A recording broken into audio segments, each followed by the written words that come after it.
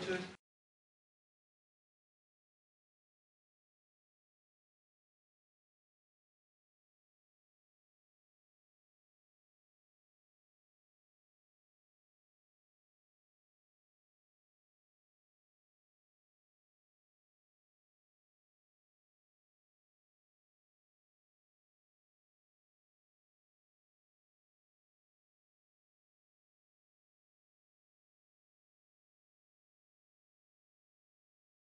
Tenemos medios presenciales, tomaremos con medios a través de Zoom. Eh, como aquí vamos a comenzar aquí en Torreón. Adelante, Carlos. Profe, buenas noches. Fernanda Arellano para Factor 4. ¿Qué tanto consideras que les ayuda esta victoria cuando venían arrastrando eh, pues, este mal inicio del torneo y siendo goleados? Ahora ustedes golean y bueno, gusta ese partido. No, creo que, que nos sirve para, para seguir, para seguir, para, para seguir por el camino que arrancamos en la pretemporada. Creo que hoy, hoy sí tuvimos la, la actitud que se merecen estos partidos y la verdad que es para agradecer a los, a los futbolistas, ¿no? Eh, eh, es de ellos, porque la verdad que, que lo que hicieron adentro de la cancha, sin, con un solo central y, y bueno, y la verdad que, que muy contento por, por ellos más que nada. ¿Qué tal? Teresa del diario Esto. Eh, lejos del triunfo, que es muy importante, que den esos primeros tres puntos en la tabla general, ¿qué fue lo que modificaste en el equipo para este partido como respecto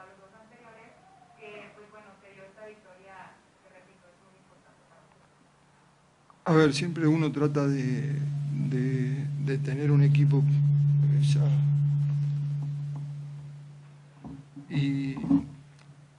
pasa que, que las circunstancias eh, de lo que estamos viviendo te hace, te hace variar mucho. Eh, la semana pasada yo creo que, que la mayoría de la gente no, no, no tuvo en cuenta eh, todo lo que nos pasó y creo que hoy los jugadores se revelaron de muy buena manera, dando el do de pecho, sintieron esa, esa derrota dolorosa y hoy por suerte se pudo ganar. Por eso vuelvo a repetir que es, es para agradecerle a los jugadores que, que sacaron todo lo que tienen para, para revertir el resultado de la semana pasada. ¿Vale? ¿Alguna otra pregunta? Nadie. ¿Qué tal? ¿Cómo estás? Buenas noches, Daniel Velasco de TVN.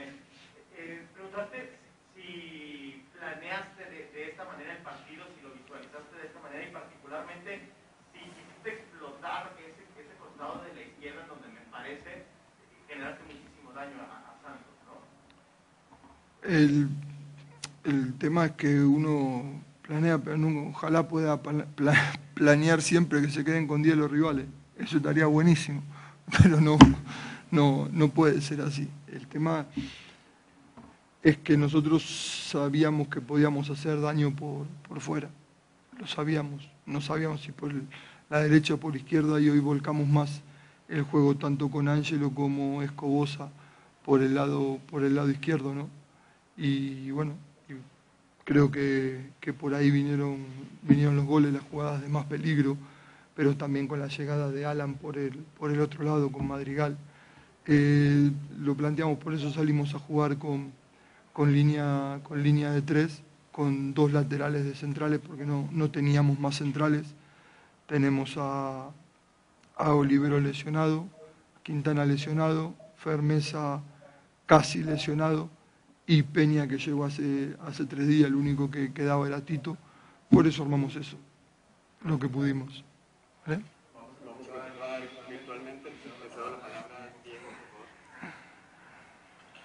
Gracias, Carlos. Continuamos con Juan Carlos Zamora. Adelante, Juan Carlos. Muchas gracias, eh, Diego. ¿Qué tal, eh, profesor? Buenas noches. ¿Qué tal? De- de. ¿Qué tal? Eh, Buenas noches. Pablo, la, la semana pasada también nos decías, profe, esto que, que mencionabas ahora mismo, de la- las circunstancias y de que, bueno, eh, muy claro, ¿no? Hicimos lo que pudimos con lo que teníamos hoy. Eh, la otra cara, entonces, vemos, eh, para esto está Necaxa y, y, tú consideras que bueno, con lo que ya tienes y con las armas eh, que se ha quedado conformado el equipo, esto será una constante que, que, se puede desarrollar a lo largo del torneo, ver a un Necaxa de esta forma, sobre todo con la actitud que se mostró esta noche. Son dos cosas diferentes, creo que, que la, la actitud la tuvimos tanto en el primero como en el partido de hoy. Yo creo que la, la semana pasada fue no, nos castiga, igual que esta, eh, te vuelvo a decir que tenemos cinco centrales y teníamos uno, tuvimos que jugar con dos laterales de centrales porque no, porque en las circunstancias que estamos viviendo no lo podés manejar. Entonces, eh, yo creo que, que no sé si es para esto, ¿no? Pero sí esta es la actitud que el equipo, que el equipo tiene, que tuvo en el primer partido contra Juárez y se perdió, que creo que, que lo hicimos bien eh, no la tuvimos con Monterrey, que te castiga, eh, porque es un gran equipo y, la semana nuestra no, no, fue normal. Veníamos de tener casi nueve enfermos, entonces eh, te golpea y, hoy un poquito menos que la semana pasada, pero yo creo que el triunfo enmascara todas estas cosas, como las derrotas las la magnifica, por eso vuelvo a repetir que esto es de los, de los jugadores eh, y a los que hay que felicitar es, a ellos, porque la, semana pasada no eran tan malos y ahora no son tan buenos. Continuamos con Arturo Reyes. Gracias, Diego. Profe, buenas noches. Arturo Reyes de Capsa Radio, Radio y Televisión de ¿Qué tal, Justo, Arturo? Eh, retomando un poquito esa, esa parte, profe, ¿no? Los dos hombres que llegan a, a principios de semana, el caso de Chucho y de, y de Fer Madrigal, eh, la incorporación de Alexis, o sea, es, es una victoria que además llega, es oxígeno puro en un muy buen momento, previo a una fecha FIFA y donde podrá pronto recuperar a, a todo su plantel para tener prácticamente elegibles a todos contra Pachuca, incluido Luis Ángel Malagón, que ya tirado sus dos de sus eh, sí, lo lo acabo de, de, de, de decir recién, ¿no? Eh, sí, vinieron los, los, tres chicos estos nuevos que casi sin, sin trabajo y bueno, eh, hay que ver ahora en la fecha FIFA hay que trabajar y, y ver qué pasa, pero, pero creo que nosotros tenemos, tenemos un camino por recorrer y ese camino requiere de paciencia. Y muchas veces, sin ver las circunstancias de lo que genera antes o después de un partido, no se tiene. Por lo tanto, vuelvo a repetir por tercera vez o cuarta vez, quiero felicitar a los futbolistas porque se rebelaron ante la adversidad. ¿Vale? Que tengan buenas noches todos. Nos vemos. Hasta luego.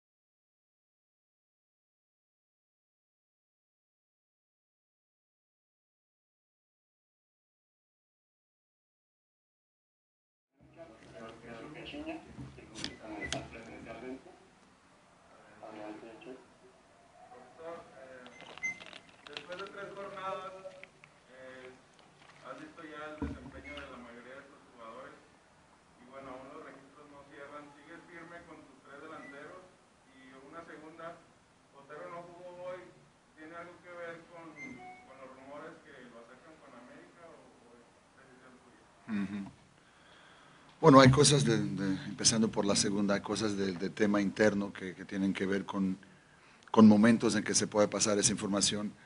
Creo que no, no, no seré yo que tenga que pasarla, pero muchas veces los rumores pueden, pueden tornarse eh, verdaderos. ¿no?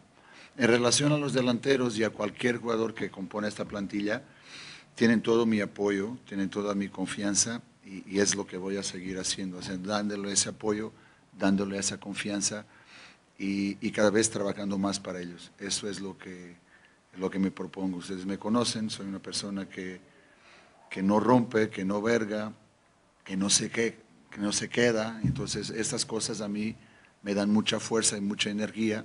Ya pasamos situaciones similares a estas en, eh, en esa institución me acuerdo de inclusive en lo que fue el torneo que salimos campeones, con el equipo más joven, curiosamente también, igualito que este, que este torneo que empezamos perdiendo los dos primeros partidos. Y entonces la, historia se podrá repetir. Tenemos que seguir trabajando mucho, sí, totalmente, pero la confianza y lo que es el apoyo que, tengo que, que, dar de una manera incondicional a nuestros jugadores, eso estoy aquí también para, para hacerlo.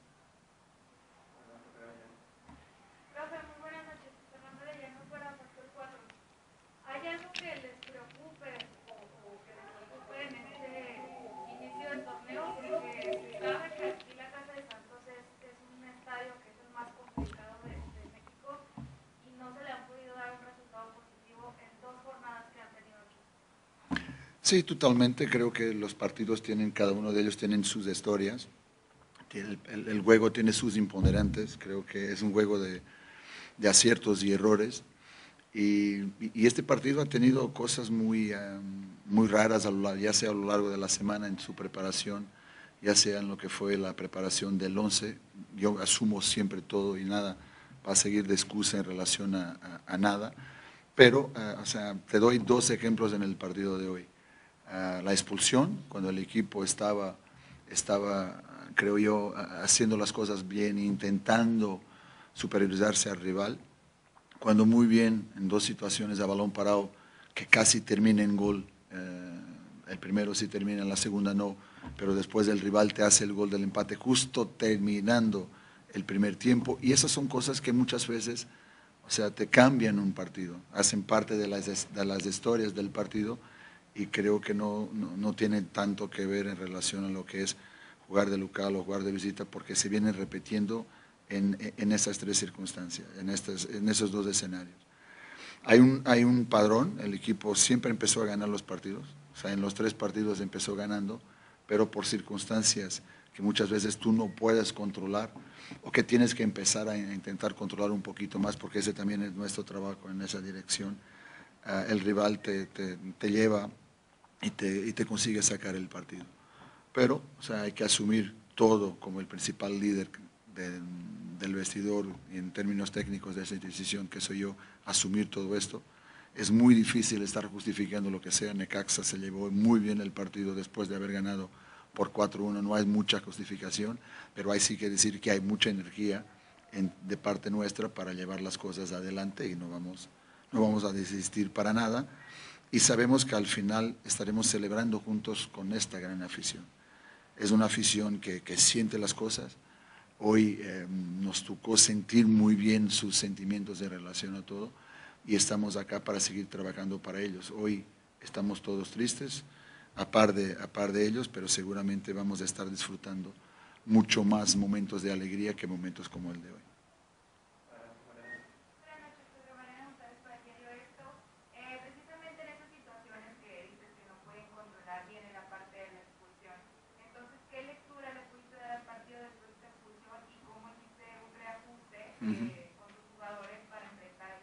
Muy bien, muy buena cuestión. Podemos hablar de, de, fútbol y de lo que pasó en la cancha. Creo que con lo que fue la expulsión, miraste que pasamos a, a, tener que estar en una estructura en, 4-4-1. En esa estructura de 4-4-1, Mudo ha hecho un, un, sacrificio tremendo cuando lo tuvimos que recorrer ahí por banda izquierda. Creo que también puede hacerlo bajo determinadas circunstancias del partido. Esperamos poder eh, incluso hacerlo, pero no bajo esas circunstancias que tenga que sacrificar, mucho más defensivamente. Y lo que buscábamos era cerrar mucho lo que serían el principal factor que el rival tenía y que pues, nos podía generar peligro y donde salieran los goles, pues de los pies de, Escobosa. ¿no? Entonces con eso uh, dejamos Geraldino en ese momento ah, más con lo que era el medio de división y también un poquito se saliera el tercer central o el central por izquierda con el balón, el poder cerrar ahí y, sería Ayrton que cerraría en, en un primer momento los centros, los centros de, los centros de Escobosa. Ese fue más o menos lo que, lo que buscamos. Después cuando el equipo tuviera el balón, teníamos que, buscábamos tener un rumbo para tener más salida, en particular en las medias, que era donde estaban los espacios para poder sacar eso al rival. Sabemos que era difícil, ellos nos sacaron el balón y nos llevaran a replegar en ese sentido. Entonces tuvimos que poder valorar el balón parado, porque una vez que, que tienes menos una unidad, en términos del balón parado, esa unidad no, a menos no se nota. Y creo que fue en ese sentido que también uh, intentamos apostar un poco. Ya en la parte final, cuando todavía estaba 2 por 1, Em, intentamos cambiar eh, Alan por, por Brian para que Brian tuviera esa salida, quedando Fernando un poquito más, más clavado ahí, eh, ahí detrás. Y eh, Diego, que debutó hoy con el equipo en, en, la liga, pues tener la capacidad de llegar por delante, por derecha, pero también cerrarme esos centros de Escobosa donde teníamos que hacer o buscar hacer una línea de cinco para defender toda esa amplitud que tenían en particular en esa zona de la cancha.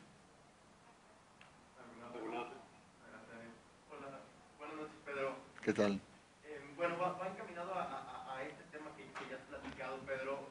Preguntarte si, si, la expulsión fue el gran determinante de esta noche o, o a qué le atribuyes la derrota no, mira, no puedes eh, decir que la expulsión fue lo que dictó eh, el partido, pero sí, sí dictó un, cambio en términos de, lo que era nuestra, nuestra propuesta para el, para el juego, nuestra, nuestra estrategia para el juego, nuestra abordaje para el juego, que tuviste que pasarlo a jugar de una manera totalmente diferente y, por supuesto también el rival llevó y se aprovechó muy bien de ese, de ese cambio. Entonces no, no, no creo que sea factor, para mí a lo mejor lo que puede ser el momento del juego, puede ser eh, la posibilidad que tuviste de hacer el segundo gol con Doria, cuando el balón va ahí al travesaño, y pocos minutos después te hacen el empate. Entonces yo diría que a lo mejor ese puede haber sido el momento del juego y, que ha dictado después del desfecho final del mismo. De nada.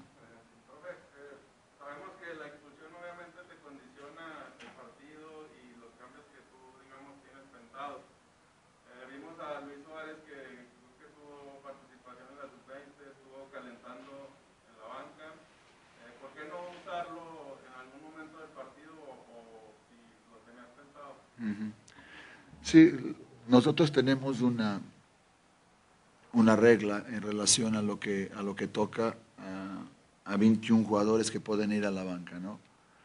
Y la regla, en particular con él y con Franco, tiene que ver con que todavía están en un proceso para que puedan tener ritmo de juego y que puedan ser opciones reales de juego.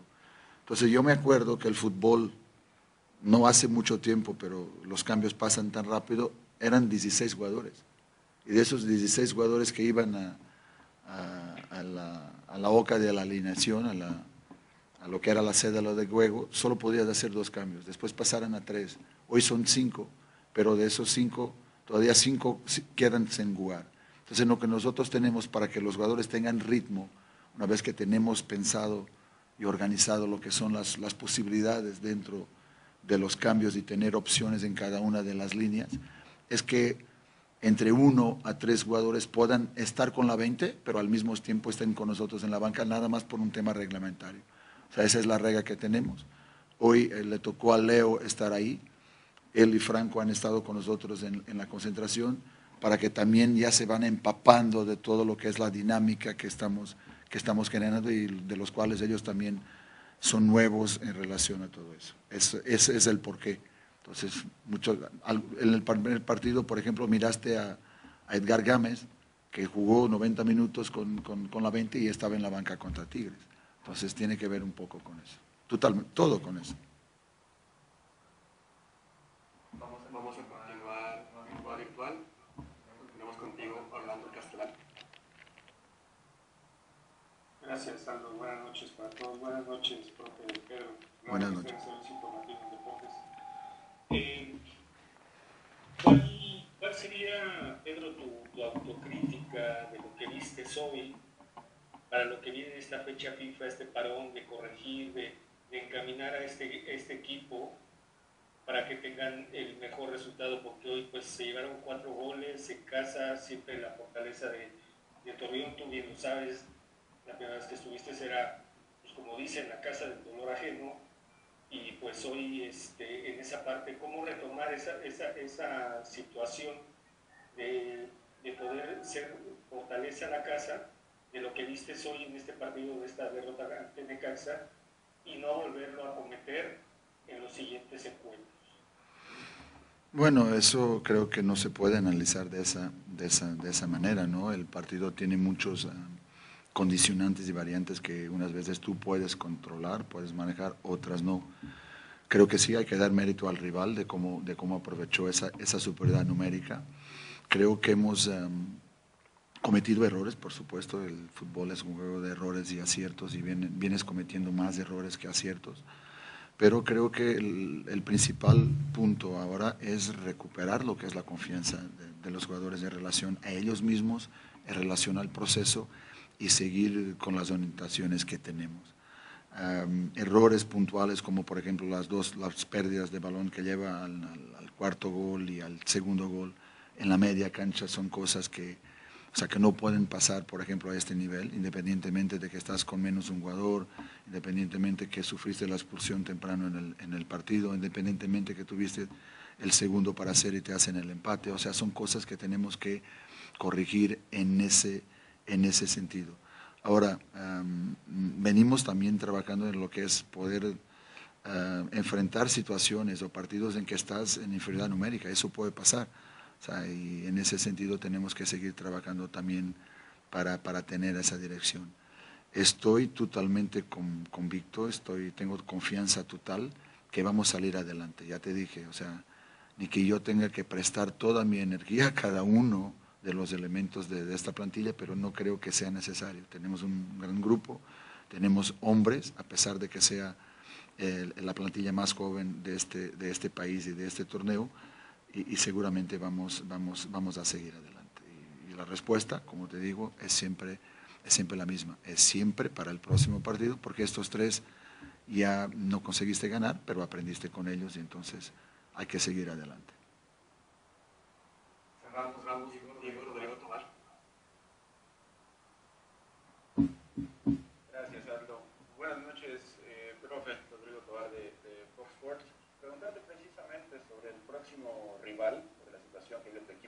y cómo canalizarlo, porque se enfrentan después de fecha FIFA pues, al campeón del, del fútbol mexicano. ¿Cómo canalizarlo para pues, aprovechar toda esta eh, coyuntura y convertirlo en algo positivo? Fíjate que eh, es una pregunta muy interesante. Creo que me tocó analizar ya el rival en lo que fue, por ejemplo, el primer tiempo que han hecho uh, ayer mismo en el Azteca, donde donde lograron esa, esa gran victoria. Creo que en, en, lo que es esa primera semana nos vamos a enfocar en, en, trabajar y en corregir muchas cosas que tienen que ver con nuestra propia idea. Tenemos un partido ahí a, en el próximo viernes en Mazatlán que ya nos va a permitir también aferir un poco más en relación a lo que es, a lo que es el proceso de desarrollo. Y esto es, estamos en un proceso totalmente nuevo en relación a lo que queremos. Confiamos mucho en, en, lo que es ese proceso, entonces esa primera semana vamos a estar enfocados en eso. A lo largo de los primeros dos, tres días de la semana ya tendré toda la información en relación a lo que es el rival, que es el actual campeón del fútbol mexicano, y después tenemos una semana larga del menos cinco hasta el menos uno, uh, no totalmente con, uh, con, todo el grupo, porque tenemos dos jugadores seleccionados para, para Ecuador, Uh, van a estar con nosotros creo que solo a partir del miércoles o del mismo jueves, pero la dirección del, de la preparación de ese partido empezará en el martes de lo que es la otra semana, en esos cinco días que tenemos para prepararlo, como te lo estaba diciendo.